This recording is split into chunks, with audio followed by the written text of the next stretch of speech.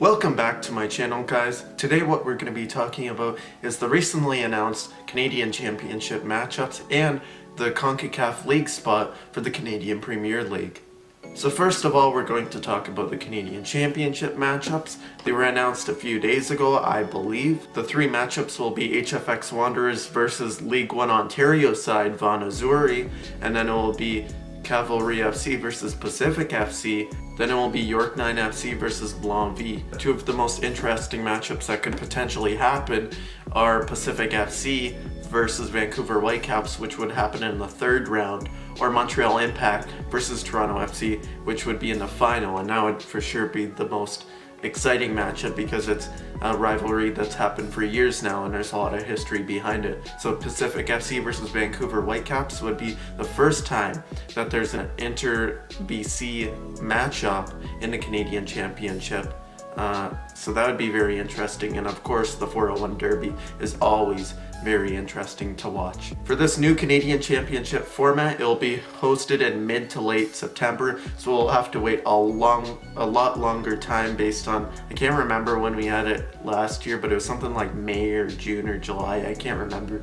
Sometime in the summer, it wasn't in the fall, but this time it's gonna be near the end of uh, the MLS season, and certainly, certainly near the end of the CPL season, which will be very interesting. Now talking about the CONCACAF League, uh, so the only way that Canadian Premier League teams this season, and I believe next season, uh, I'm assuming next season, uh, the only way that they can qualify for the CONCACAF Champions League is through the Canadian Championship. So realistically, they're probably not going to qualify.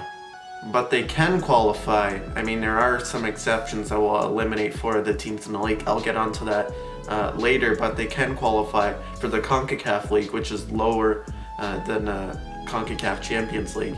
And it only has Central American teams, um, and so it makes the Canadian Premier League team that's going to be in it the odd one out.